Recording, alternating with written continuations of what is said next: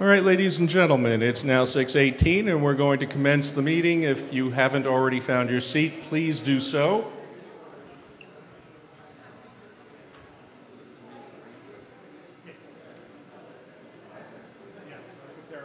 Would someone please encourage the folks back near the food line to join us?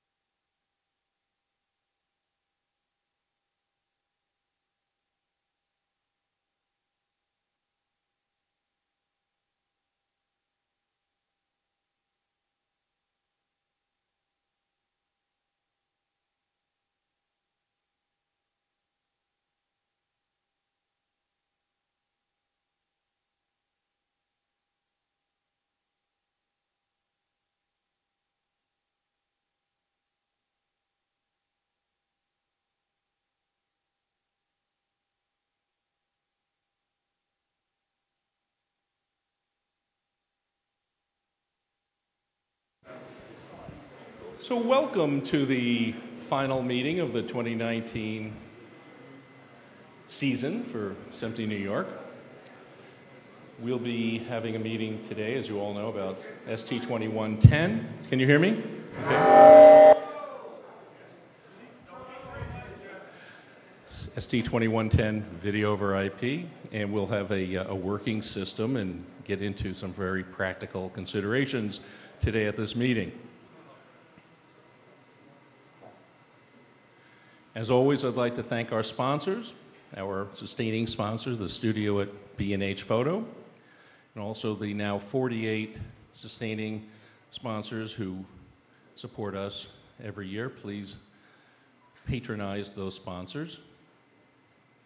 If you're not currently a sponsor and you operate a business in our industry, please consider becoming a sponsor. It's very inexpensive, and this section is now self-sustaining financially with uh, our sponsors' assistance. It's been a great success as a program, and we no longer uh, are a burden on the national headquarters of SMPTE financially. So uh, Carl Cavagnolo, who is here, uh, is now in charge of uh, fundraising for this year, and uh, his contact information is on the screen in front of you. So feel free to capture that information and reach out to Carl regarding sponsorships or any member of the board. We're all here. In terms of membership, I know we have at least 30 or 40 non members here tonight. Uh, if you uh, look at the badges on the folks to your left and your right, you will note whether they are current members or non-members, guests. If you're standing and sitting next to a guest, please engage them in conversation and encourage them to become more active in SMPTE. Become members, go to the website, join up, uh, make it part of your professional career.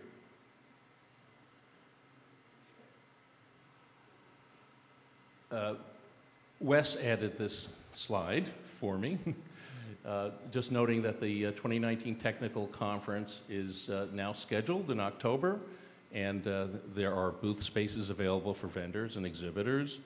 See Wes, who is here, and he'll be speaking, and he's tonight's producer. He's right here. Uh, if you need more details about the annual technical conference. And then finally, we have our Board of Managers meeting coming up this week, and in this June meeting, it's the meeting where we determine the schedule for next year. Uh, we've been soliciting at each meeting suggestions, and a number have come through. Uh, I've put them all into a spreadsheet that you can access here. It's read only, but you can see what was suggested for last year and what was in this past cycle's uh, schedule. You can now see what's been suggested for this year. And of course, nothing's in the cycle yet, but we'll be determining that sometime through June and July as the board meets on this topic. So if you want to send additional suggestions in, that email address, that subject line, and you can see what's already on the docket as suggestions there at that link. At this time, I'm going to introduce Wes Simpson, who's producing tonight's meeting and has done a great job. We have a really good turnout here tonight great catering. Thank you, Wes. so, uh, with no further ado, thank you. Thanks, Jeff. Uh, thanks for that introduction. so, uh, this meeting has been in the works for a while. Um, I first saw this demo system personally about six months ago and was really impressed, and I think you guys are going to be too. There's a lot of really um, advanced technology. It, it, covers all the main aspects of SMPTE 2110. So the last couple of years, you've heard me and some other speakers talk about 2110 on a theoretical basis. This is it real. This, this stuff works. It's uh, in production. People are using it today. And um, you're going to see more and more of it as, as time goes on. So I'm very pleased to introduce Karl Paulsen, who's the Chief Technology Officer of Diversified. Um, he, um, as Diversified CTO, Karl Paulsen provides company-wide emerging technology advising and strategic planning focused on advanced broadcast media system. Karl anchors Diversified's consulting and technology-driven media entertainment engineering services with a focus on technical education, long-term planning, workflow analysis, media asset management, and storage technologies. Karl is a fellow of the Society of Motion Picture and Television Engineers, a life member and certified professional broadcast engineer of SBE, and an active member of the SMPTE standards community. He is also a member of the AES, IEEE, the Video Services Forum, and AIMS. Karl regularly contributes to TV Technology magazine, and he has published three books on the topics of media asset management and storage.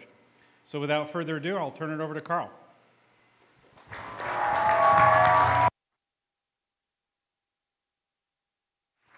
Thank you.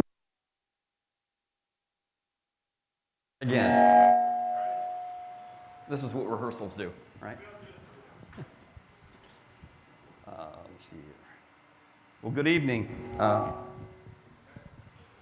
thanks for the introduction, Wes. Uh, it's a pleasure to be back in New York City. Um, I travel all over this country, uh, not only with this kit, but for the, for the company. Um, it's a it's a challenge.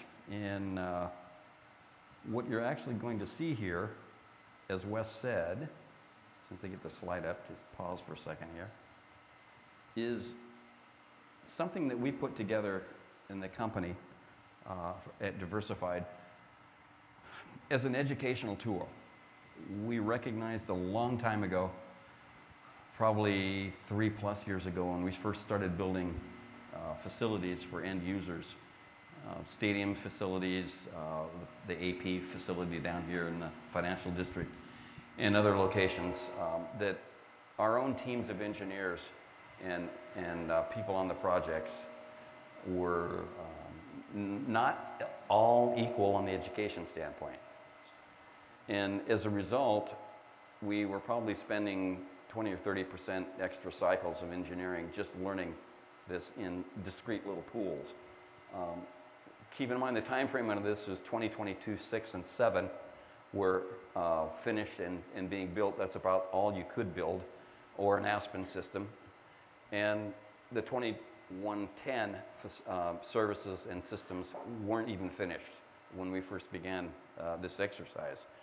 So we partnered with, uh, first initially with Tektronix and a couple of the other folks we've got to build this kit so that we could learn collectively, not just our side, but both sides of the industry, the manufacturers as well as um, ourselves on what does the standards mean, how are they evolving, what's important, what's coming up next, all of those sorts of things, as, uh, as well as helping our own customers understand the details of the technologies.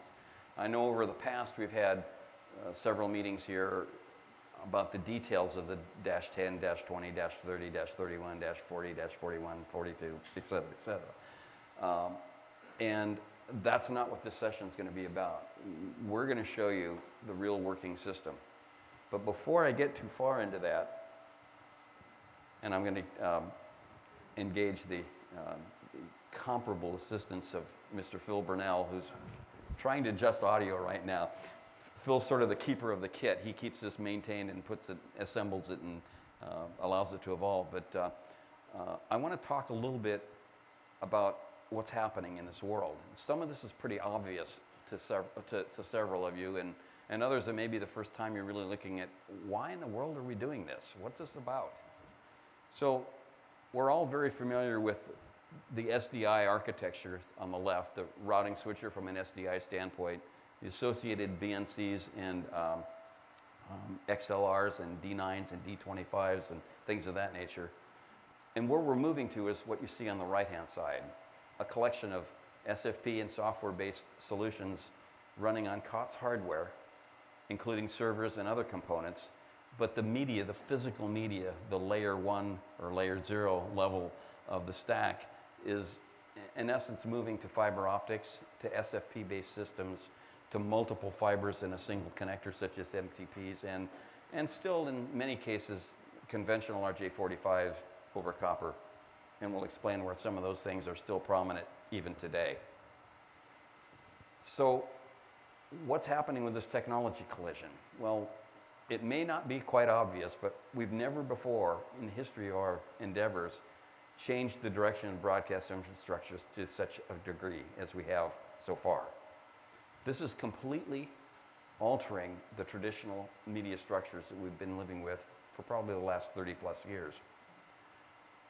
We're also having to adopt internet technologies and moving them towards the transports of high bit rate, HBR, professional media in real time over a managed network.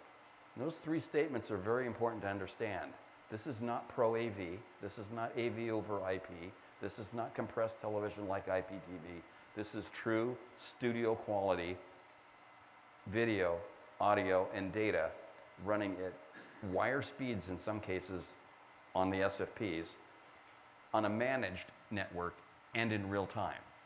So think about what that means to the designers, think what it means to the end users, and think about what it means as you have to migrate through as technology evolves. You can't turn this network off. Once you turn it up, it runs. You have to have an alternative method if you're going to do upgrades or changes to the systems. So it's really forcing the entire industry to completely alter their thought processes, not just for the design, which is fiber optic based versus coax, not just for the maintenance, which has typically been left to broadcast professionals or in some cases IT professionals running the control systems, and to operations. Because once operations gets a handle on how easy and how efficient this becomes, there's where the thinking processes are going to change even greater. There's going to be new workflow, new capabilities, faster implementations, and it could quite honestly be a challenge to what we've been dealing with as we emerge into the cloud itself. So again, never before have we had this much disruption, this much collision, or this much alteration in broadcast media technologies. And that's what this entire standard is about. So how do we address this? It's certainly changing what's going to be called the IT professional of the future. This will be far less than keeping the lights on, so to speak. And um, this is no detriment to what IT does, but IT is a, very much a reactionary system in terms of responding to changes and, uh, uh, and aggressively keeping the enterprise itself up, as well as the operation side of it. Um, the whole concept behind doing this is to increase and improve operational efficiencies. Um, we wouldn't do this just because you can do it. There's a vision out there amplified by many of the standards bodies and forums and industries, AIMS for example, that really has an initiative here that will say, if we do this and we do it properly, our efficiencies will improve tremendously. Of course, this creates other issues, such as particularly for the IT professional, and that is we're having to move away from primarily manual configurations. This isn't about a couple hundred IPTV channels that might be distributed or desktop editing systems that might have edit suites or a couple hundred edit platforms. This is about thousands of signals, inputs and outputs that have to be put together and managed continuously. And that's just not possible manually. So a lot of what's happening in the standards work is not just the, the transport infrastructure, but also the automation and the operational infrastructure itself by organizations such as the AMWA and the Video Services Forum. So the future will be for the IT professional to deal with um, automated and managed networks as opposed to manually configured networks. That's where some of the software-defined networking comes into place. Well, the other side of the coin is the broadcast engineers. They're obviously becoming less and less built, uh, dependent upon purpose-built boxes. The black boxes of the past are, are uh, shrinking and condensing down to single or two rack unit servers and switch components. Um, this will be more about leveraging storage and video servers and software control systems. It'll be about maintaining networks with continued delivery, as I said, at wire speed and maximizing the throughputs on every switch port in a system, less the overhead and less protection capabilities. It's also about managing networks that service multiple protocols with mixed signal types and an engineered topology type of infrastructure. So let's look at this a little bit from a graphics perspective or a graphical perspective. Today, we typically have the, tip, the traditional broadcast person or the traditional broadcast sector of the industry. We have media workflows, which includes storage and asset management and editing and so forth. And then we have IP networking. That's the interconnection of these devices, but it's also the control of those devices in many cases, such as a broadcast automation system. So what's happening? They're converging. They're not only converging, they're overlapping in capabilities. And my, my bet is that the center part, which is all about networking, is going to get larger and larger to possibly filling out the 90th percentile of these uh, spheres. So while we're dealing with this, we also have all of these new types of networks, and this is just current um, implementations and practices. We have real-time IP networks, which is what we have here. Non-real-time networking systems, that's the file transport from storage platforms and into um, um, edit stations or asset management systems and archives. We have file-based workflows, the typical editing platforms that are in news and production and so forth. And then, of course, we have cloud solutions. And again, every one of these in some form touch the networking environment. So if you look at this as to where we're going and how many different concoctions of each of these outside bubbles um, are, you have these things to consider. While all of this is going on, we have things like SDR and HDR. We have higher frame rates, and we have 4K and 8K resolutions, all of which are far more easy to do in an IP environment than they are in current SDI type of environments. We have the hybrid workflows, which, are, which go beyond just disaster recovery or storage because they're going to be more consistently used. We actually have been building facilities for the last year or so that are delivering 10 gig to desktops sitting around in an edit environment or a newsroom, all different places. Why? Because they don't know what's coming around the corner from a production standpoint or from a need standpoint. So those are the things that are pretty obvious, and obviously we're, we're uh, dealing with COTS solutions as opposed to purpose-built primary uh, and proprietary boxes. Um, things are converging and things are combining, and by the way, there's also this uh, looming technology called ATSC 3.0, which is, um, from what we're reading recently, probably going to happen and happen faster than we think. But off in the far corner is sort of the elephant in the room sorts of things that we also have to deal with, and that is the security, the vulnerability to the systems, how we document these facilities. You're not going to be doing single line drawings where every single line in the drawing shows a particular signal flow itself, like we have done for decades we're going to be seeing drawings that are basically used by, at least by companies like our, ourselves as system integrators, is to do the physical connections of devices and maybe some flows uh, in, in a very broad state. But most of these control systems and most of these uh, other media flow systems are going to be automated. So you're going to have to go to a laptop that's, or a, a screen that's attached to a server, which looks at all the signal flows in the system, touch something on that screen to identify what's really on that path, at that particular moment in time because in an automated environment, it's possible that those systems may change based upon demand and signal flows throughout the whole system. So those are some of the changes, at least that are happening at the physical and the equipment and the system side. But we also have skill sets which are evolving. And we're taking the traditional broadcast engineers and technicians, which have been somewhat isolated or insulated, I guess, from the traditional networking administrators and support engineers, and we're doing the same thing. We're combining them together. We're finding that we're going to have a huge overlap, if not a 100% overlap eventually, and we're probably going to name this person or this operation uh, a professional broadcast and media network technologist or something akin to that meaning. Probably not that many words, but, but certainly you can see where this is headed. And the questions become out, do you hire an IT engineer and teach them video, or do you hire a video engineer and teach them IT? Well, I think the in some cases you're going to be doing both because there's going to be knowledge that's, that are going to be proprietary and, and fully familiar to one class of person or function that are going to be different from the other. And I'll give you that example. Here's the expectations and the experience sides. The broadcaster's expectations will still continue. They still have to deal with synchronized and isochronous signals. They have to oper uh, operate in a 24 by 7 by 365 environment.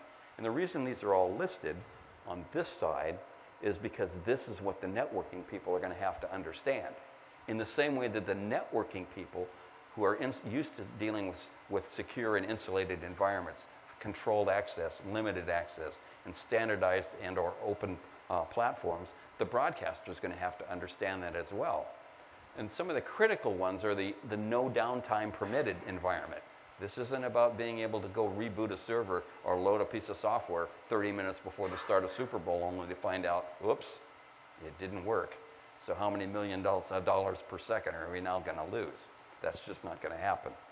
Um, they, the, the networking side has to become production sensitive. And they have to understand that both sides of the fence need to have a robust and consistent environment that is manageable and stable across the entire platform. So what got us here? Well, the integration of multiple standardized resources as listed here. This work has been generated not just by the SMPTE or just by the uh, Video Services Forum or just by AMWA in isolation. All of these entities and some more beyond that, such as SMPTE, such as AIMS, the IABM, the AES Society, IEEE, the IETF, all of these people listed all now contribute to this environment. And without them, we wouldn't have the success that we've had in such a short period of time. So what's the progression of the relative uh, standards part in IT? And this is probably, this and a couple more slides is all I'm going to get into from the particular standards perspective. But you can see that the IEEE developed this 1588 version 1 first and then version 2 a few years later as a universal proprietary, uh, not proprietary, universal application of um, timing and reference for systems across the globe. And it's not particularly uh, specific to broadcast, but it is certainly specific to things like cellular timing, where you hand off from one cell point to another, satellite positioning and, and information, ships and, uh, ships and so forth at, at sea for navigational purposes.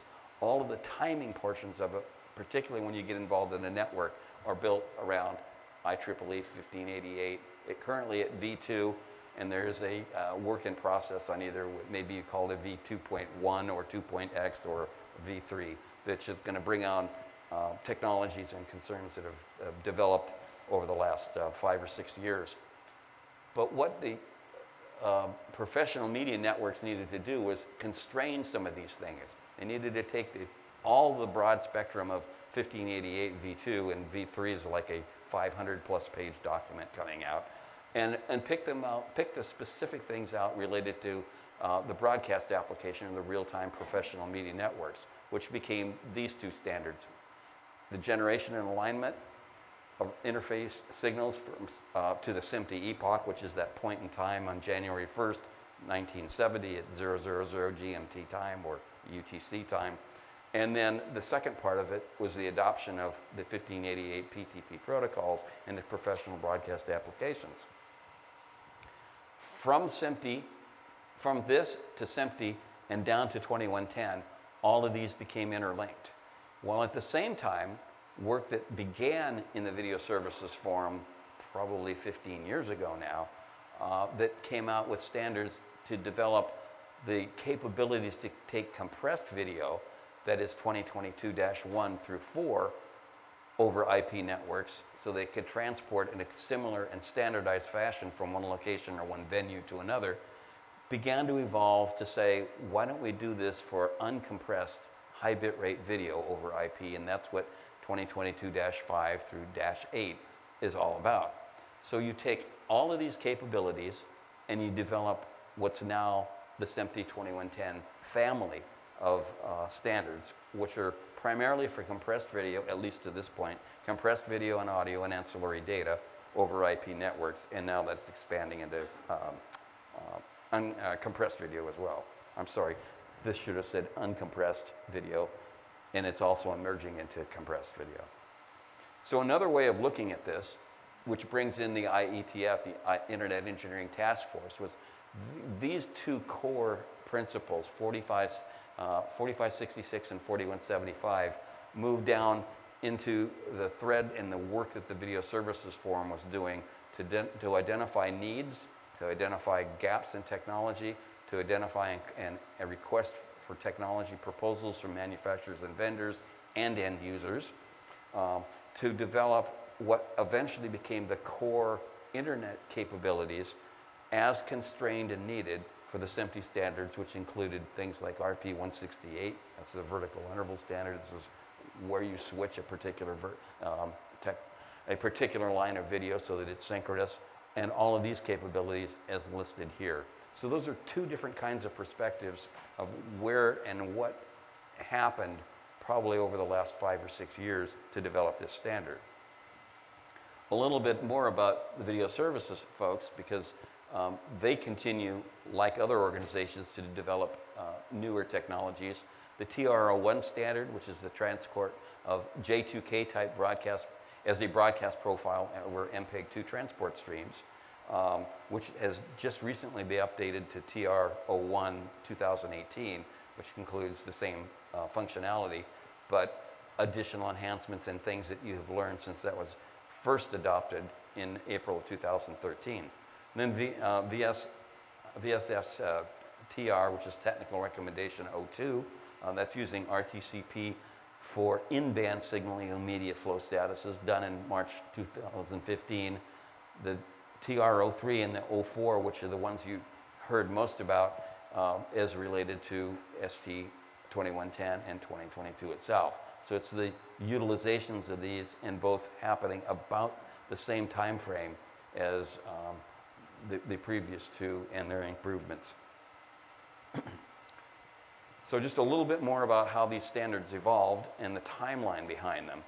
This is the initial um, release at the, uh, it was announced at IBC in 2017, published shortly thereafter, but I think the complete set of documents was done by, by the end of the year.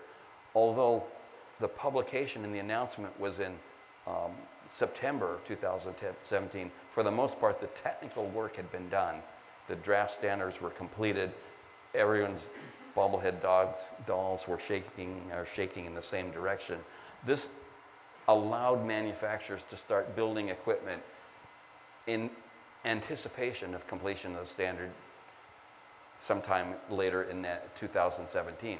So if we remember, a lot of people said, well, we're not going to build 2000, uh, 2110 devices until the standard is completed. In reality, the standard was completed, and the things that were shown at the NAB um, and then further in IBC were working models which didn't change hardly at all, except maybe from the data or the, uh, the control architectures. Um, so we had the video portion of it, we had the general system uh, timing and definitions, which ripples through all of the standards, and we had 2110-30, which is uh, PCM, digital audio, in an uncompressed environment. So it's about the time that those were completed, of course, there's the next generation of the standard itself and the family of standard was well underway, but it needed to have a lot of I's dotted, T's crossed, and some testing uh, to be done. So what came next was um, Dash 21, which is the traffic and shaping delivery, and eventually we did Dash 40 uh, shortly thereafter. So this happened around um, Q1 of 2018 from a timeline standpoint, and then very shortly thereafter we did the Dash 31, which is the AES uh, transparent audio portion of the standard. And people say, well, what's transparent audio? Those that really understand the depths of AES and AES3 and so forth know that there are little bits like UCV and an another couple that were used by certain people, certain manufacturers that are different in consistency and structure than what um, straight PCM 24-bit linear type of uh, application, 24-bit sampling type uh, applications. This allows all of those capabilities because there's a lot that got carried in AES as broadcasters um, develop things. One, for example, but not necessarily specific to this is Dolby E, carried in an AES-3 environment and embedded along with the, uh, the video and so forth. Well, we needed methodologies to carry there where it was applicable. So 31 is one of the latest of the uh, standards that's been, been adopted and completed, at least at that time. But you wonder, you keep hearing about the status that this is continuing to evolve. Well, that's very true. This is work that was just in, it's actually in final review right now. This is, has to do with adding timing capabilities, PTP type based timing capabilities to the signal structures for redundancy. That's dash seven and for individual essence streams operating in a dash session seven or redundancy mode.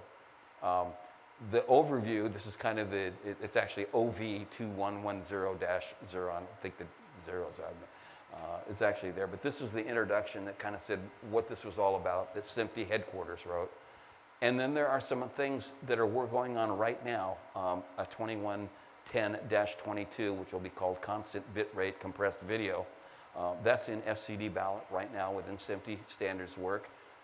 This is the ability to, to carry uh, a compressed signal. In the first case, it happens to be VC2, or otherwise known as DIRAC, D-I-R-A-C, uh, promoted by the uh, BBC and run through as a project.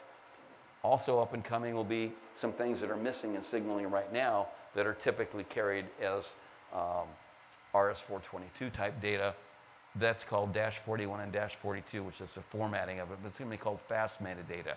Uh, at the point in time right now, we're working on conceptual um, uh, charting or direction and trying to figure out how complex we need to make this. And, and this will be very applicable to things like HDR and SDR. When you have to switch between an SDR stream to an HDR stream, you need some metadata that is timed and synchronous to the flows themselves. I mean, really down to the point that you might conceivably have metadata for every single frame in a video uh, stream itself.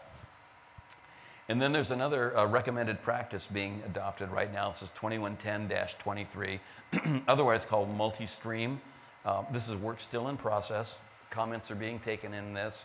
It, for the most part, the work's really been done. We just want to make sure it's bulletproof, so to speak, before it gets out there. That's the ability to take and split a stream, such as a, um, a 4K signal, in a 10G switch across more than one port.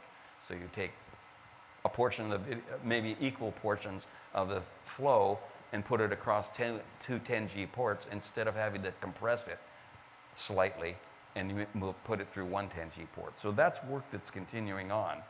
Um, in addition to the uh, one-year reviews and in, in its speak, any standard that's been developed and, and uh, uh, publicized by mandate of the, uh, uh, the rules in, within SMPTE we go through a review of this. So it's like, what have we learned? What needs to be changed, if anything? What needs to be added to a particular standard? So Dash 10 is being uh, done right now.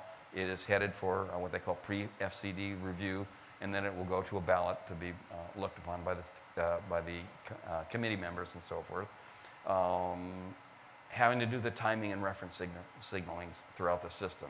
And then uh, ST 2059-1 and -2 are currently in, their, in the same stage, a pre-FCD uh, review. This is, uh, what, what's holding some of this back is any of the changes that are anticipated from the IEEE 1588V, whatever the next standard number happens to be.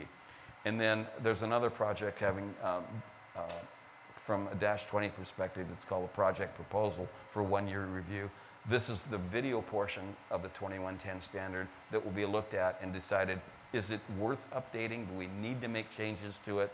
Uh, and what will be those change? What are those potential uh, changes? So internally, there's a comment period going on where everyone's being asked to look at this and get feedback from end users, from their own engineers. Do we need to make changes or adjustments to Dash 20? Outside of the SMPTE side of the world, we also had these two organizations, AMWA and the VSF, that are working on, on these changes as well.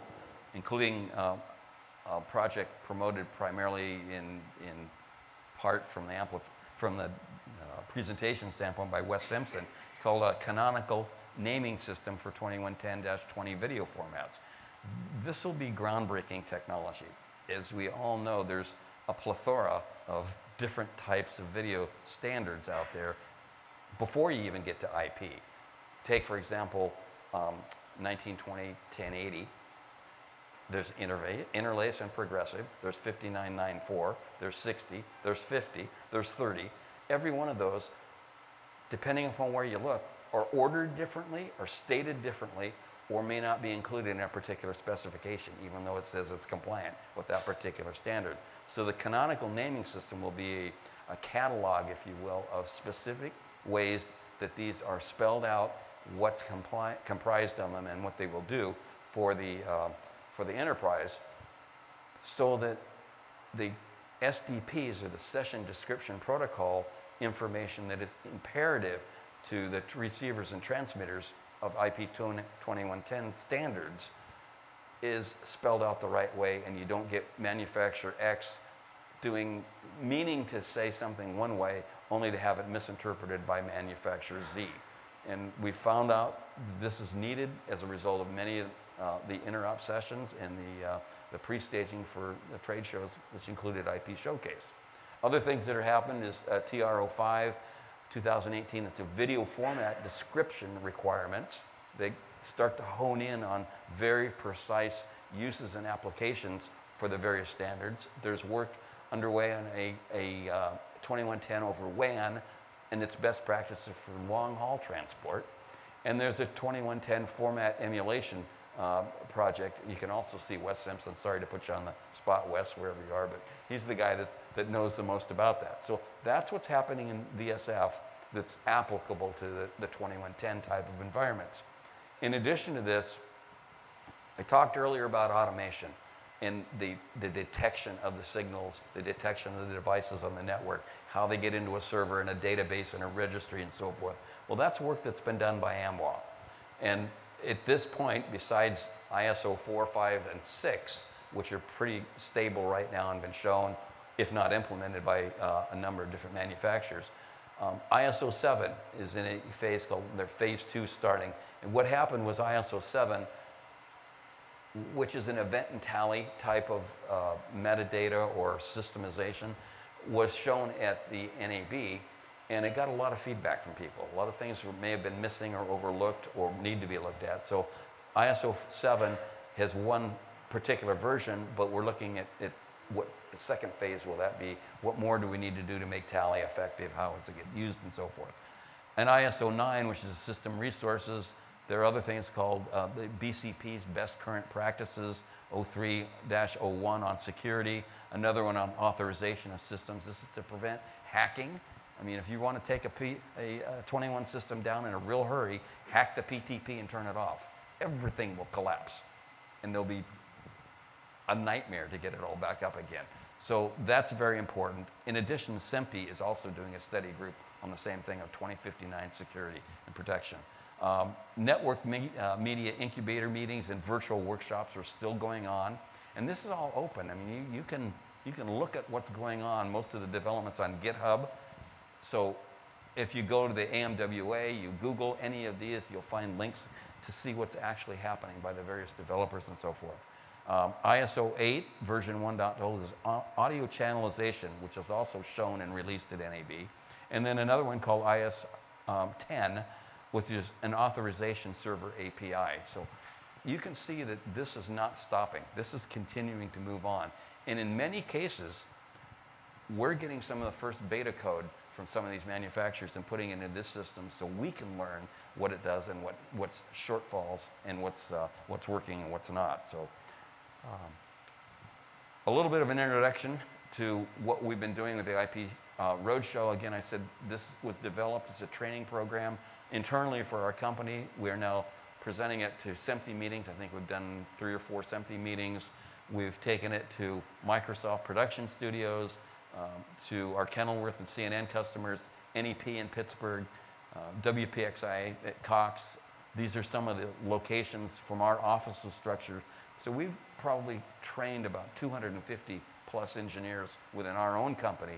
And then we carry, they're usually a two day program, and then we do a third day, which is, involves private client meetings, either our clients or others that are interested uh, to come in and maybe they just want to talk and not expose to others uh, what their concerns are and how you approach these designs. So we carry these sessions on as well.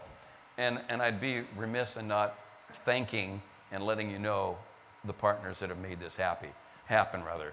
Every one of these uh, manufacturers, Tektronix, Arista, Video Clarity, and so forth, have contributed hardware to this, and not just hardware, software visions, um, painstaking hours sometimes with us with this system to get the integration and so forth to, to perform and work properly.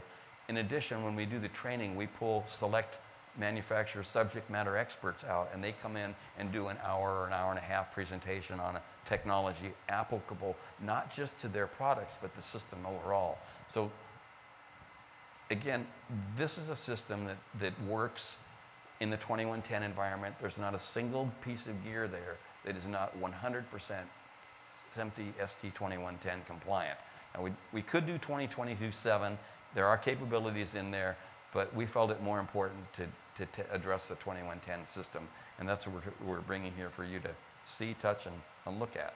So at this point, I'm going to, um, you want me to do this? Okay. this was supposed to be Phil's place.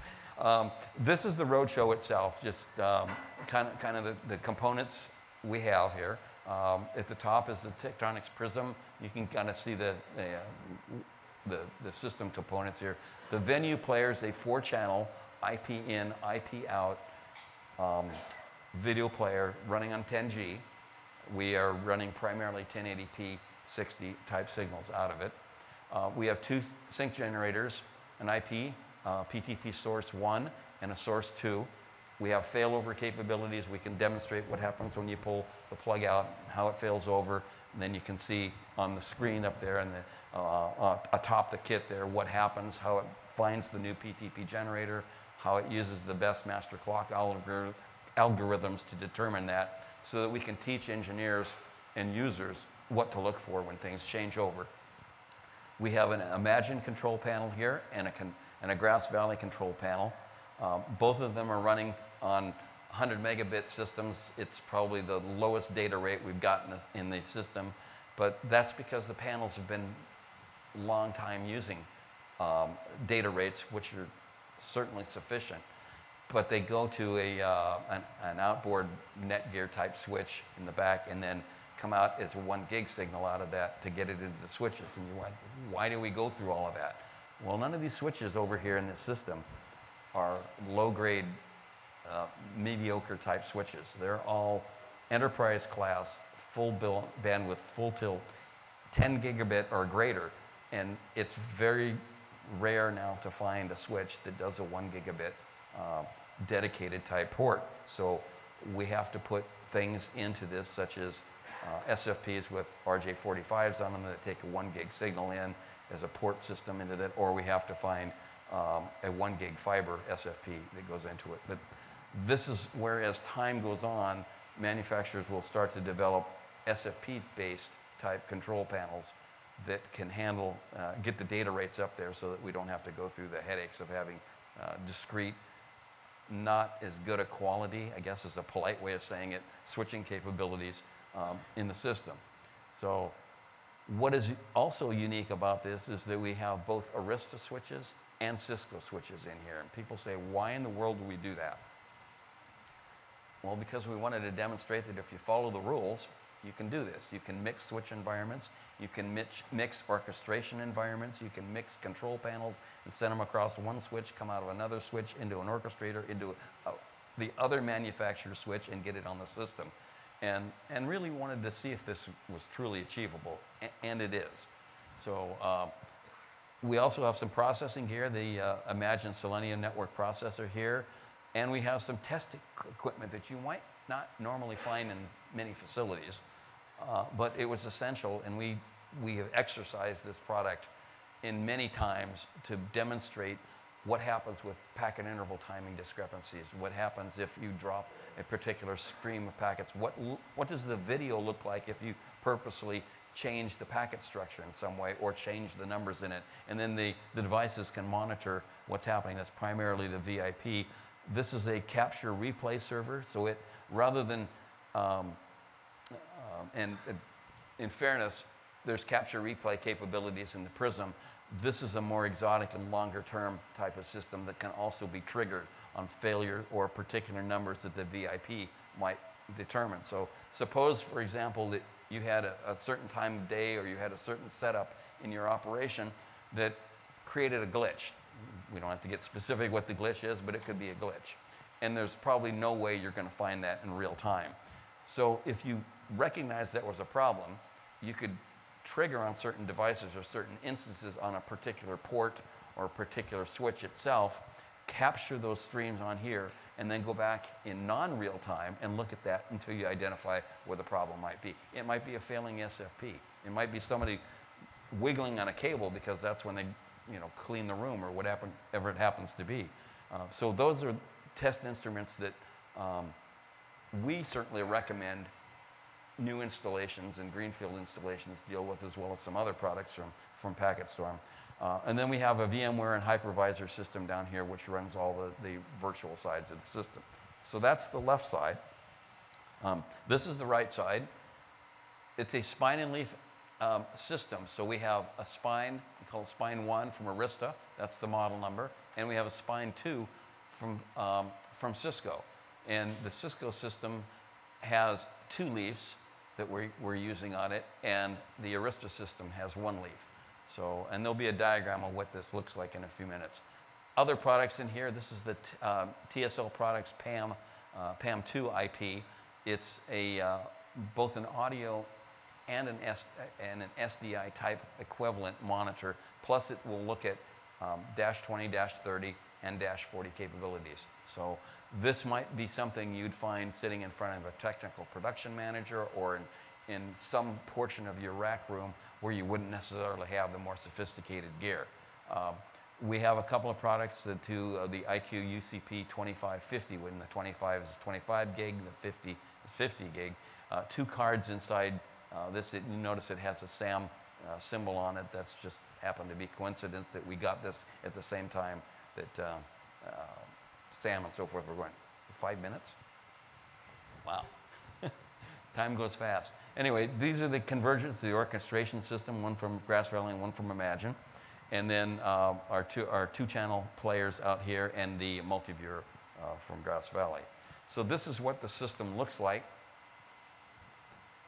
from um, a signal perspective. So these are all the boxes and all the types of signals and their data rates that are going through here. Um, this is a little bit about how we architect or figure out the, uh, um, what I want to say, the, the addressing and mapping for the systems here. These are the kind of diagrams we use. Um, this is how the Tektronix Prism and the PAM2 are connected. You can see the unicast addresses, you can see the management addresses, and we keep the uh, multicast addresses off of this diagram just to, because those are just adding more uh, confusion and clutter. So in this particular diagram, we've, highlighted, we've highlighted where PTP is. The one gig systems here. Um, here's how PTP is carried in this case. And here's how the video, uh, video clarity uh, system, the players carry it. Again, PTP, when it says on the media port, that's carried in the same stream as the media itself. Sometimes they're isolated, but if you follow the rules, it needs to be a multicast environment that carries the timing in the same structure as the media itself. This is the, PT, the PTP for the rest of it. PTP on media here again. In fact, PTP is carried on the media uh, translate, transport through all of those systems there.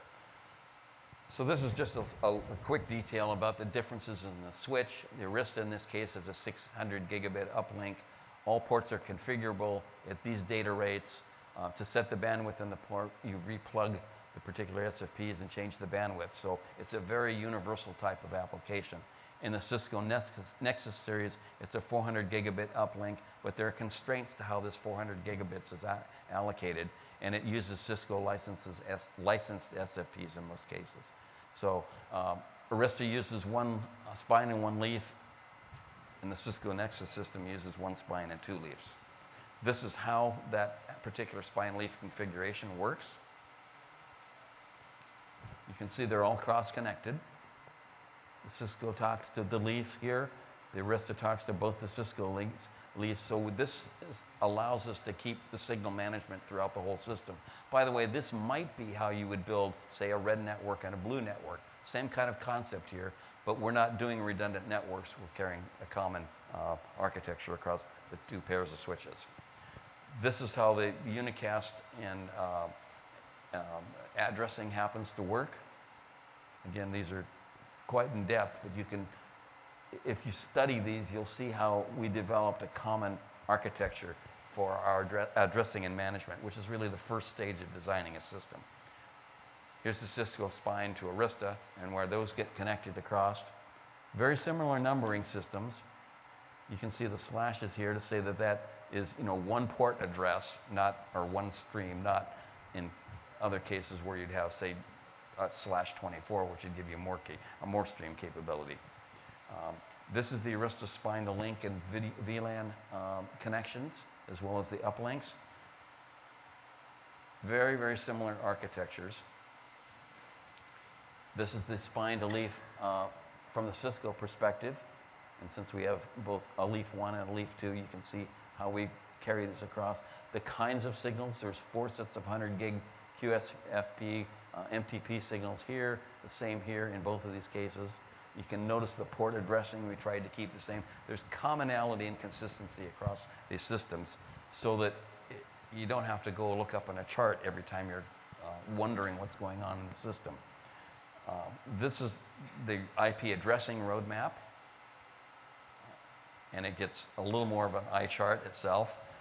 Uh, but you can see we have the unicast addresses, the multicast port addresses, what type of signal flow and where it's applicable. You can see the management layers. So those are all the key components that go into building a, a design a system like that. And um, some of the, the main flows and so forth that are going on here. That, for example, these are what we're trying to do here, and I'm going to show a little quick demonstration about how um, these systems are put together and what the flows are from a standpoint of what happens when you push that button. So control of the Prism is via an API and the Imagine SDNO. Uh, the TSL products come off the 10G side using Ember Plus from Cisco Leaf, off from the Cisco Leaf, and these are the signals that will carry. The router control panels, as I explained earlier, are 100 megabit type Ethernet to Netgear switches. The Grass Valley multi-viewer is a KIP um, 320X. It's a, a pair. Uh, it's from a pair of 100 gig connections, one from the Cisco and one from the Arista. So that's how we get all the signals into that system, and then it's routable uh, through the control panels over here. And then we also have uh, over. It's not in the rack because we just got that like yesterday. Is uh, an EEG HD 492. This is uh, running on 10 gig on port 23 of the Arista Leaf. It decodes dash 30 audio, does a speech to text conversion, then changes the metadata to do dash 40, 2110 dash 40 caption data, which is decoding closed caption, and it appears then um, on the uh, Grass Valley KIP multiplayer. Now, we were in process of configuring that today. We literally ran out of time with other schedules, so we don't have that demonstrated. We could show the black box, but there's no text into it. But, so this is one example of where we're crossing um, dimensions from a dash 30 to a dash 40 metadata type application. Um, this is what I spoke about when you push the button sort of thing. So we have Imagine uh, router control panel and Grass Valley's router control panel into this switch, a, a one gig management Ethernet connection into the Arista Leaf. And if you remember, everything's cross connected. So this data can get recalled by any of the devices that are necessary. So in the case of the Tektronix Prism, what's happening is it's being told to join or to leave one multicast and join another as a result of a control panel push button that talked to the uh, Imagine Magellan SDNO and the orchestration layers themselves. And then in the case of the Cisco portion of it, we can get those same signals routed by all the cross connections we had to the PAM, uh, TSL PAM system there. Um, these are just the other ancillary portions of, of where things get through in the system and what ports they are. So you could find these port numbers on that gigantic spreadsheet there. You could find the actual IP addressing numbers, and you could find out what the signal flow is. But that's a lot of work. So that's what this automation process is all about, is so that you can go to one central panel and figure out how and what to do with a system. So again, we're, since we're running a little bit out of time, this is um, what's happening in the routing control system. You're managing a grouping of elements in a router control system. You're managing names for those groups for the elementary signal sources themselves, and you're managing the names for the groups of the elementary receivers. So you now, you now have to deal with both the receivers and the senders in this environment in order to get it to work um, routing, the routing itself, that's the network routing itself, is connected from the source group to a destination group, and it will confirm with a positive status or not. And, and sort of like what's under the hood is what's on the right-hand side. So an operator action is command says, please take camera seven to monitor three. Well, what's happening in this lower part down here is monitor three is already getting um, camera seven, is going to get camera seven, and this would be the operator status itself. Um, the, what happens is the routing control system says, hey, monitor three, switch your video to group, in this particular case, 238.6.7.22, port 20,000, with its dimensions of 1920 by 1080. So now you've given instructions to the system, which we do, which happens all the time over here, not only the signal routing from a multicast address standpoint, but also the dimensions of the signal itself. And what happens on the screen when that transition is completed is that you've now moved this multicast address as shown here, and now monitor 3 is getting camera, camera 7 as expected from a human perspective. And then these are the things that actually happen for the uh, control environment itself, IGMP leaves and joins in each of the cases there. There's a lot, lot to this, so I'm going to skip through it very quickly because we've got another speaker coming up here. But this is kind of what happens is in the SDNO, uh, it maintains a cached copy of all the stream details, and that's re the reason for that, or one of the reasons for that, is this is the approach that Imagine has taken to feeding IP streams to their multi-viewer. Grass Valley's approach is different, Tags is different, so every one of these systems have different approaches and different value propositions for them, depending upon size and scale. Um, the user at the panel makes a name-based request in some routing protocol. Um, hey, source, whatever that source happens to be, camera three, send it to the Tektronix Prism. The third thing that happens is the SDNO turns the names into individual streams and receivers. This is sort of happening in parallel in the background, and all of it in real time. So the SDNO then communicates with the new stream details to each involved receiver using the uh, particular protocol that's for that device itself. Um, each receiver then issues an IGMP join for the new stream and leaves its old stream behind. It basically just drops that flow. And then the last thing is the status of the stream switch command is translated back to the namespace status in the many protocols. And this is where you get the naming uh, conventions with a name change on the panel itself or the information that goes to the tally system for the UMDs itself. So um, this is fundamentally what's happening. And look at all the protocols that are now having to be addressed. The Ember uh, Plus protocol, for example, the different drivers for the IS-04 and IS-05. All of these components are now happening on a network, whereas in the past we've dealt with it as discrete signaling, uh, RS-422 type signaling, maybe a network which is an Ethernet type signaling and so forth. And we're showing this to give you an idea of the complexity of what's going on under the hood and what the future broadcast engineer, broadcast technologist uh, will need to be doing. So that's Okay. what I've got. Very good, Karl. Thank you so much.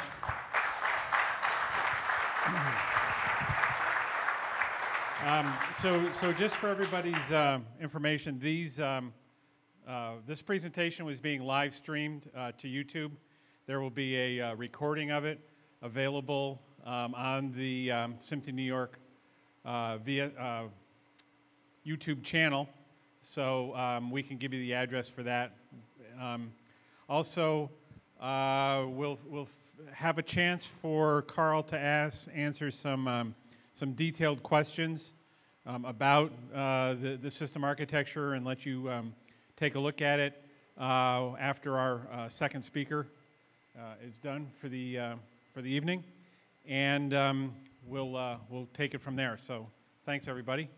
Um, now, we'll switch over. So, yep. Uh, our next speaker is John Bertoni. He's the global account manager for AT&T. Um, he works for EMC Dell Technologies. Uh, John is a global account manager supporting AT&T's services for its strategic customers across all industry verticals. Throughout the evaluation of evolution of cloud, he has aligned Dell Technical Solutions to enable AT&T to meet market and customer demand. In 2012, John began helping AT&T build and grow cloud storage businesses to complement AT&T's application hosting and managed services offerings. With the merger of Dell and EMC, John is helping AT&T's customers optimize their applications and processes across the hybrid cloud landscape. So we'll switch over to him and um, let him uh, give you a, a good um, overview of what we're doing. Uh, one thing I do want to mention is that we have um, at uh, right around 8 o'clock tonight, we will be uh, there. We, you may experience some interruption of uh, network connectivity here, Wi Fi, things like that. We're not taking down the cell phone network, but um, there is uh, an ongoing um, system upgrade going on here in this building, so we will um, definitely, you know, uh, try to get everything done by 8 o'clock, and then we'll be able to come over here. We won't turn the lights off, though. We're not going to make it black for, uh, you know, 120 people that are here in this building. So take it away, John. All right. Does that work? Excellent. And no feedback, so it must be a decent shield. Never thought I'd be termed a shield to things, but hey, it works. Okay.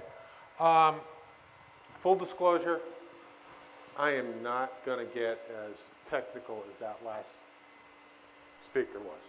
I'm not even close. All right, so if we delve into the, the technical, we're not building clouds tonight. We're not going to configure any VMs. None of that's going to happen. All right, we're just going to talk about the general industry, where, where customers are using cloud, what I, as a um, account manager, but also in a previous life, I was in the outsourcing world and a Gartner consultant, see in this, this cloud world we are. And I'm going to try and draw some parallels to the old outsourcing world because I see a lot of the same behaviors happening. I see a lot of the same results. And as an old consultant, I see a lot of opportunities coming from it because people aren't doing things right. So with that, we'll launch into um, you know, some of the, uh, uh, you know, statistics that we've, that we've seen out there. Um, you know, as far as adoption goes, we're seeing, uh, based on some, some uh, research by Deloitte, uh, we're seeing about 55% of uh, the households, you know, have, they're, they're using streaming services. you know, it's, it's spread across uh, a number of different age groups. Uh, it's not just Gen X, it's not just, uh, you know, millennials. It, it goes across all of them, and the, the, the uptake is, is quite large. Um, that comes out to about 2 billion monthly.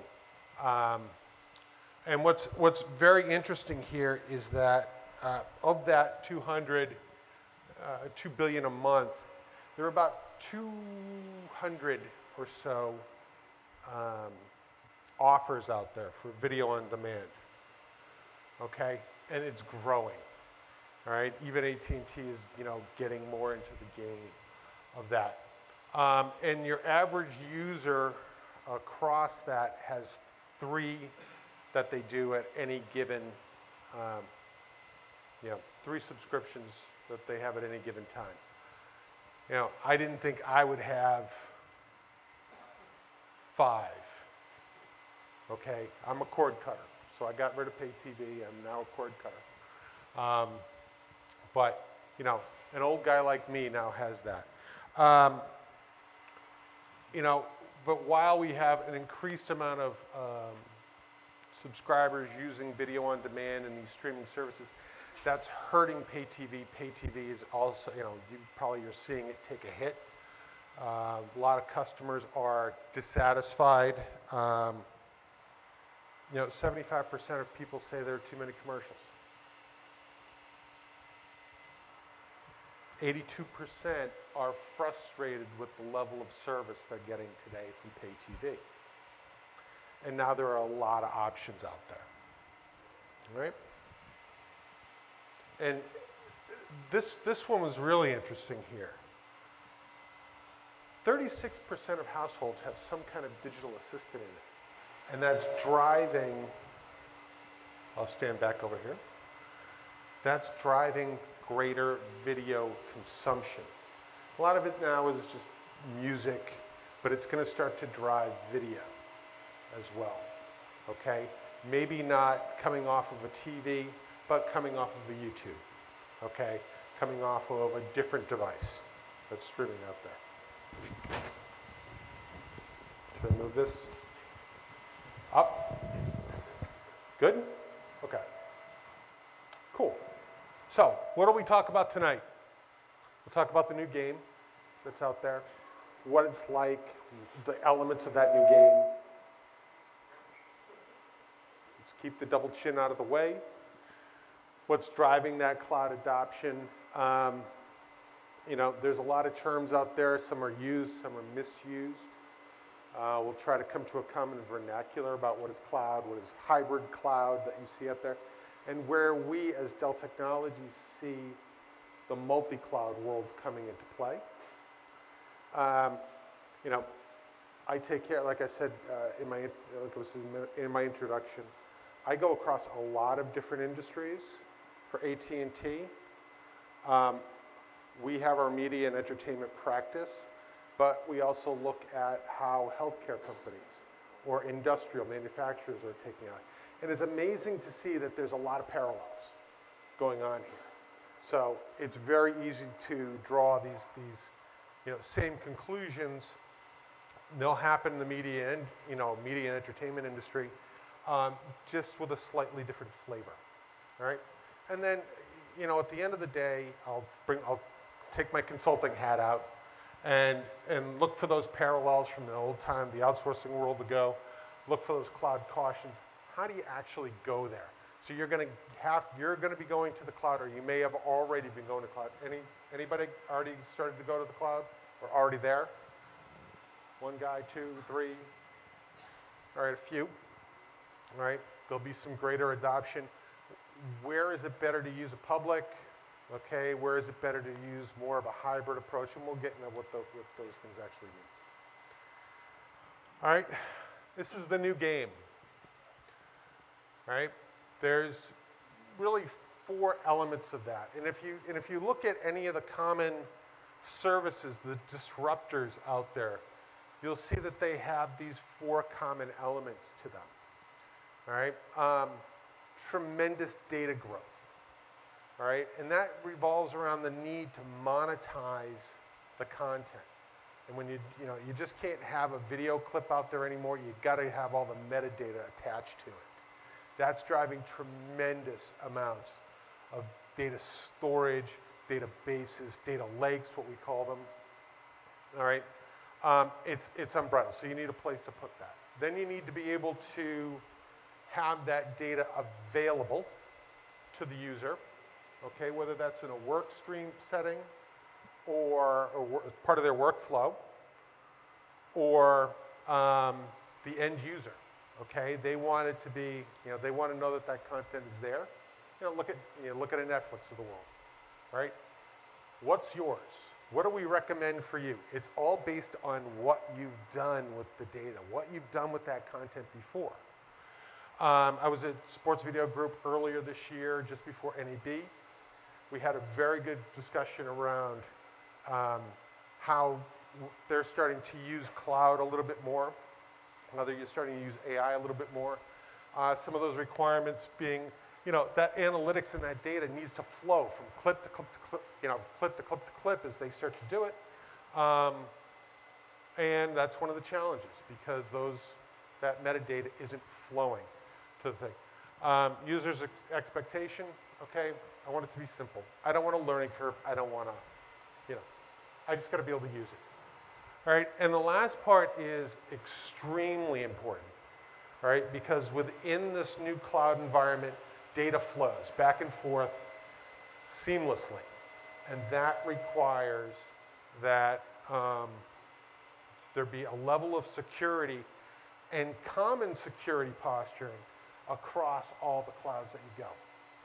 All right? Otherwise, those assets are put at risk. Customer data is put at risk. Um, your own, you know, assets are put at risk. All right?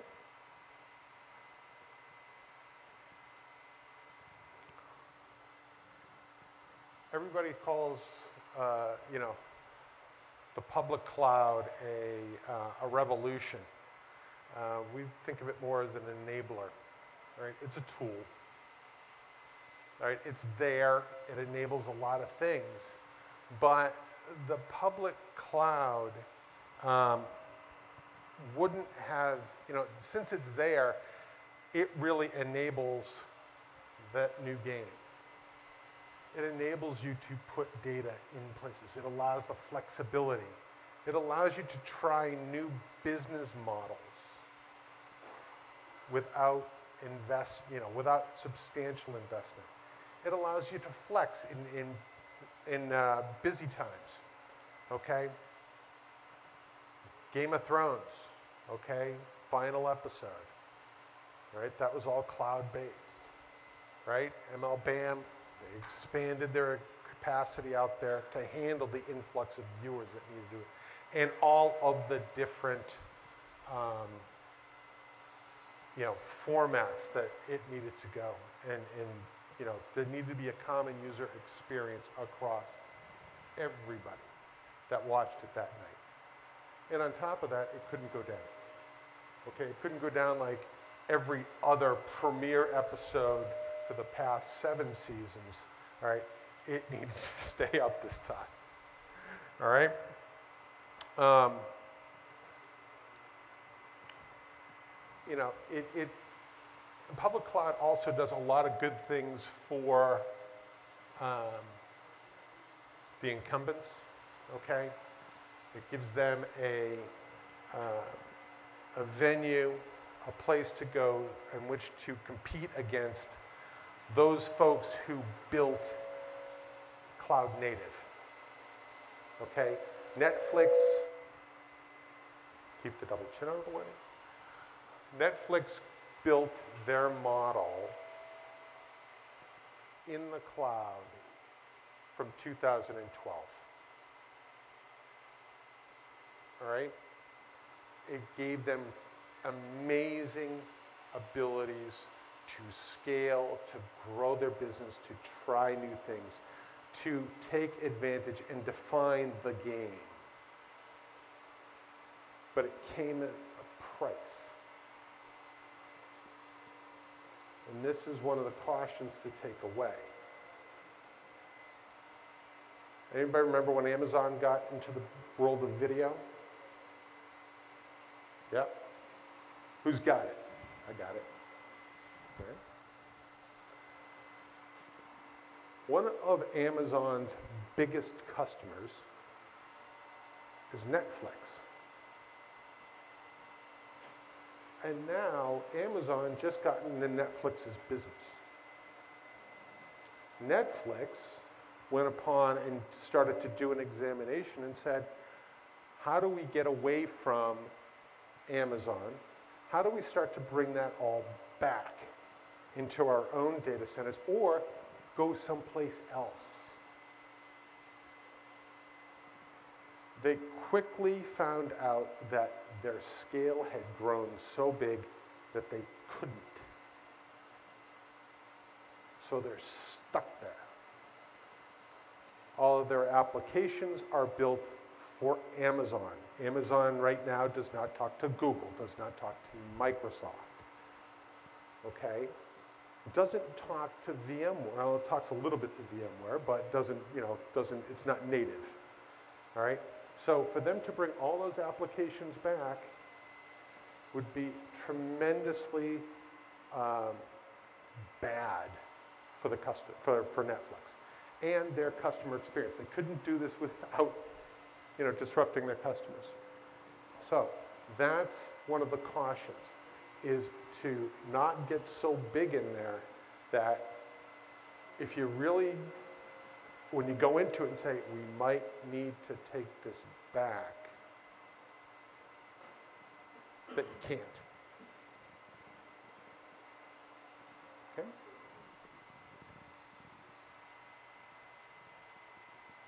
This is something that uh, we did with AT&T um, up in the cloud. All right. Actually, we did this in a cloud, and it's intended to go on the edge. All right. Those that edge being at the hockey game. All right. So we're going to put a cloud in a truck. And that cloud is going to be running an application from a partner of ours called IdentTV. All right, and what we're looking to do is deliver, one of the things that we're looking to do is uh, to deliver not only for the team, but for the league, who's getting unearned media, all right? So we're going to analyze video. We found that the, it was valuable to run that at the venue, okay? And we're going to count how many times Ticketmaster is on the screen. Ticketmaster not being somebody who advertises the game, they're a sponsor, they put their name on the board, great, right? So what we do is we do, you know, we look at that, we do all the counts on the screen, and then we say, all right, how much is that worth? And in this example, we said it was $5 a second. So, you know, Ticketmaster only costs us, uh, for this small clip, $10.50 in lost revenue. So now it's good for the league or for the team to go to Ticketmaster and say, you know, this is how much extra value going with the Flyers is, or the Rangers, okay, is. So you should sign up a little, do a little bit more with us, maybe sign up a little bit of time on MSG, okay, to do that. All right? What else is, who else is using the cloud? Okay, a couple of quick examples. Uh, Endemol Shine, um, any, they, uh, they do Big Brother. All right? What they're doing is uh, they're indexing files, okay? Inde indexing the clips. They're actually getting suggestions from the feeds on what to actually include in the shows. You know, and this is across, mm, there's like eight or 900 different shows that they put together um, across 275 channels, 250 million users, okay? It frees their people up to look for something new, okay? Uh, NBC Sports, anybody from NBC Sports here? Hopefully I was going to get this right. Um, the Olympics in Rio, um, they did a lot, okay? 45, 4,500 hours of content was made available. They did this with Microsoft. Um, 3.3 billion minutes of streaming during the Olympics. Uh, 100 million unique viewers and um, 100 live HD streams going on any that were available at any point in time.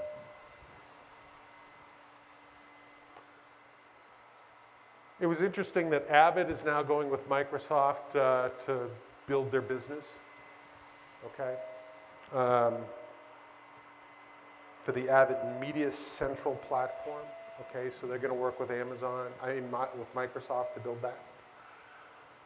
Um, La Liga was interesting in that they were, wanted to, they, they've built their own innovation platform up in the cloud uh, to launch websites, applications that engage fans more. Right? That was really important for them than just showing games. So they're trying to help people learn about players, uh, appreciate the, the game of football in Spain a little bit better. Um, and then NBC Universal went in a completely different direction. Um, not with one particular cloud, but they looked and said uh, only about 20% of their budgets were being uh, used for application development. That other 80% was just keeping legacy applications alive and running. So they went and said, we've got to do, we've got to flip that. So they, uh, they, they're working with Pivotal right now to create a uh, agnostic app, cloud agnostic app development platform. So that basically says, if I want to put it over in Google, I can put it over in Google quickly. All right, if I want to go to Amazon, great, I can do it. If I want to keep it on my own, I can do that too. It depends on where I want to move it, and I've got a way of taking that application and moving it, or moving instances of it quickly where I need it to go. Gives them greater agility out there. So, have we reached a tipping point? Uh, I can't say we have or we haven't, but as we start to hear conversations, it's the, the conversation always involves cloud. It's no longer I need to virtualize an environment. I now need to think about, you know, going to cloud. I don't need to take my cloud, you know, some of my native already virtualized environments and moving them to a uh, modernized infrastructure. Right? It's now I need to use a cloud. All right. What's how, what, why? We talked about that for um, NBC Universal, free up IT time. All right. Costs. All right. Uh, scale it up and down and better. So that flex time um, are, are, good ways to do it. Um, and freeing up IT time also requires, you know, as we start to talk about things, the, underli- the underpinning element here is that you're always thinking about the app. In a digital, the digital world, it starts with the app. What do you want the app to do, and how important is the app? Okay, that's your underpinning. So, driving that cloud migration is probably taking a lot of legacy applications, putting them into a place where we don't have to worry about modernizing infrastructure. We have an SLA pegged to, you know, uptime and IOPS and things like that. Um, and I can then go and not worry about it. Okay? Or maybe look at it once a week. All right? So if you want to go to the cloud, all right, first one should be pretty, pretty self-explanatory. All right? If you've got something that was never meant for the cloud and you got to move it to the cloud, it's going to be a lot harder than moving something, putting something in cloud that was already meant for it. All right? Um, we'll talk about multi-cloud, okay, and why performance dictates that. Um, but we talked about it just a little bit uh, just now. Um, application infrastructures, I'm sure we've all gone through this. You know, the specialized infrastructure, it's, it's getting expensive. Maintaining it, all right, every, you know, I've seen budgets under, under scrutiny. We're gonna do that. And here's the most important one. Migration skills are rare. You don't want to do it, and you usually don't keep guys around that are really good at doing migrations. Once you do it, it's migrated. I don't need that guy anymore. All right? It's typically not a core competency of most operate shops or build shops. All right, so, um, you know, this just says it a little bit in a little bit different way. Um, but this is what, what uh, we see CIOs grappling with every day. Um, you know, how do I balance my existing and my uh, cloud native workloads, All right, What do I do with them? Right. Um, the expectation for most organizations now is that, you know, I've got a public cloud and I've got a private cloud. All right? It's already multiple clouds. Right? And we see, you know, the IDC said 93%. Okay? We'll do that. The reality, though, is that for any, you know, if you, do, if you look at your applications, where you need them, uh, what you need them to do, it's going to be a combination, okay? And you might even have multiple private clouds over here, all right? And then have public clouds, all right? And, and we'll talk about how we use them. But basically, um, you know, at the end of the day, once you start to use multiple clouds, uh, we're gonna, you got a whole bunch of stuff going on here. If you just use your cloud for, um, you know, one task, you're gonna start to create silos, operational silos, even within Amazon itself. So if you use it, it's like, okay, I got, each one has its dashboard. Google's doesn't work with Microsoft's. So you have um, all these different tools. Security, we've already started to talk about that. Right? Um, and every time there's uncertainty and all these things start to add up, your adoption goes down. Your ability to operate effectively in the cloud also goes down. So we need to operate uh, a little bit better. Okay? So let's let's start to, and I, I want to pull up the right right thing because we're going to talk about two things here. Um, this is where we start to talk about hybrid clouds and native public clouds. Um, you know, they're two two distinct things, and, and I apologize for reading, but I want to get it right. Um, hybrid cloud. All right, it's a multi-cloud model in which operations between two or more clouds are common and where orchestration between the two environments is handled by a singular tool. All right? So it's commonly achieved from a private cloud or an edge to a public cloud. Um, and we're also including in this the ability to move between two public clouds. Right, so the key here is that you've got a single set of tools that manage orchestration is the same, your virtualization is the same. So your clouds talk to one another. Okay, whether it's on-prem, up in the public, or out on the edge. Native public is simply that. It's Amazon, it's Azure, it's Google, the hyperscalers. Uh, it's some smaller companies that are out there that may be more niche uh, operated. But um, each cloud operates independently, okay? Own set of tools, and there can be great for certain things. Smile, it's a good picture. I only got one of them, so I'm, I'm good. I haven't put the whole audience to sleep. I feel better. All right? So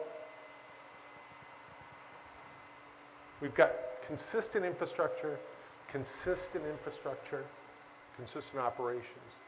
This is great. This, so this model is, I, I really need to keep my, my assets close and private, but I'm going to see them. I might have busy times I need to flex, or I might take things Five minutes? Okay, we'll do this. All right?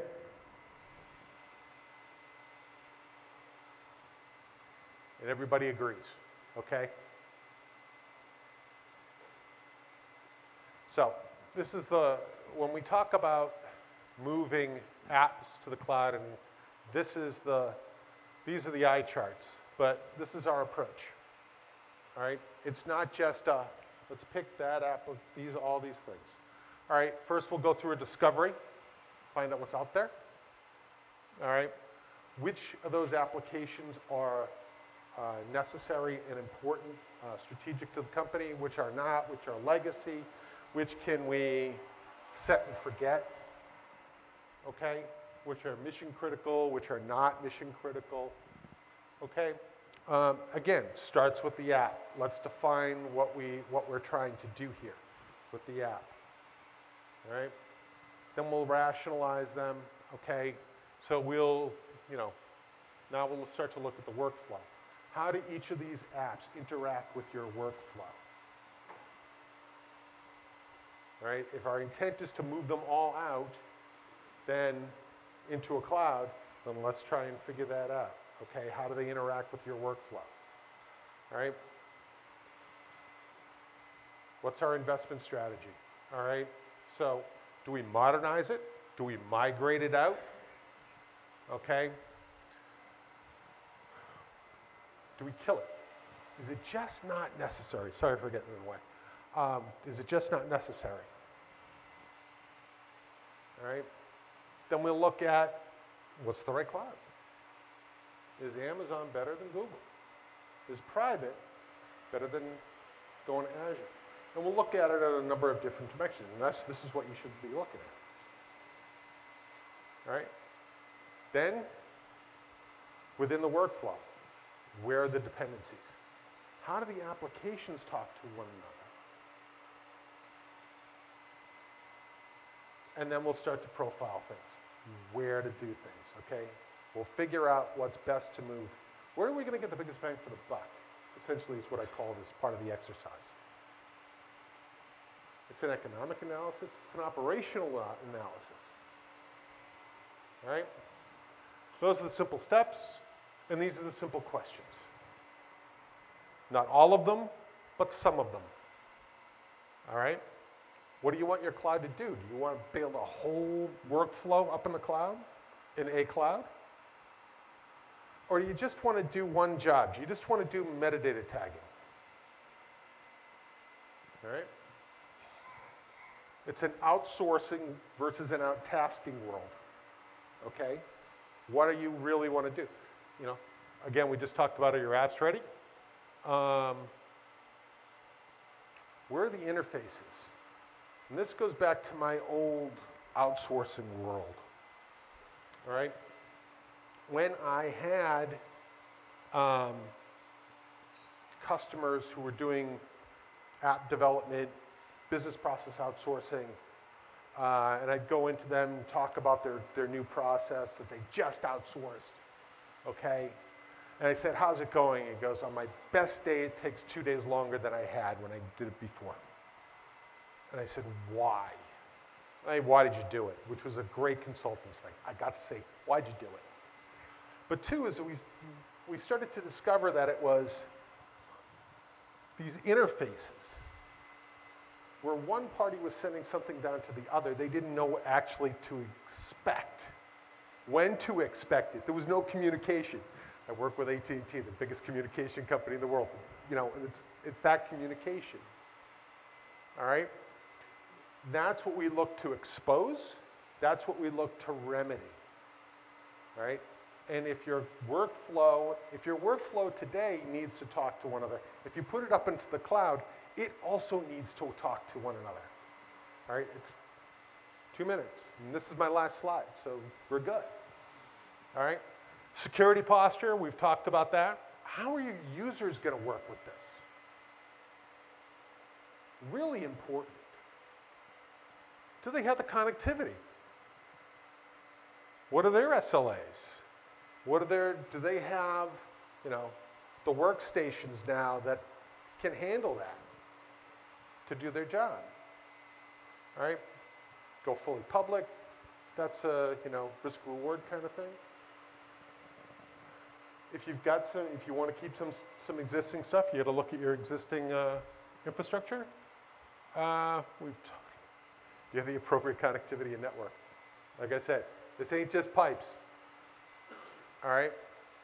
It's, if you don't want somebody to know that you're actually using the cloud, for example, if Scott were here, I'd point at Scott, Scott Beckett from AT&T, who has a global video services network, which is a completely private network.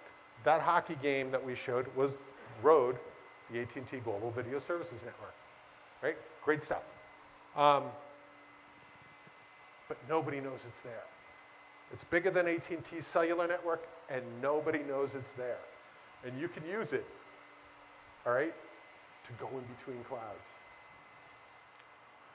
Um, your external partners, so if you're into some kind of, you know, post-production work, how do they get there?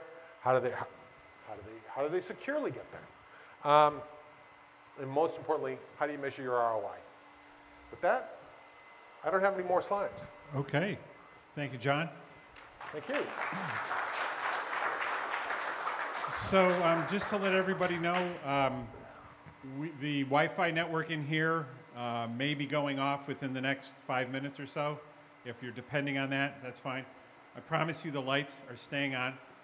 Um, so now what we'd like to do is, um, first of all, um, I have a little presentation to make. Karl, could you uh, make your way up here? And uh, second of all, um, you stay here, John. Okay. Okay. And then uh, we're going to have a couple of minutes to uh, everybody, and and we'll, you know, starting at 8 o'clock, we'll have an opportunity for everybody to come up, actually see this equipment. If you're good, Karl will let you touch it, but you got, but you got to go through Phil first. okay. And um, we'll also uh, have an opportunity for you to, you know, ask some uh, detailed questions and actually see how this stuff works. So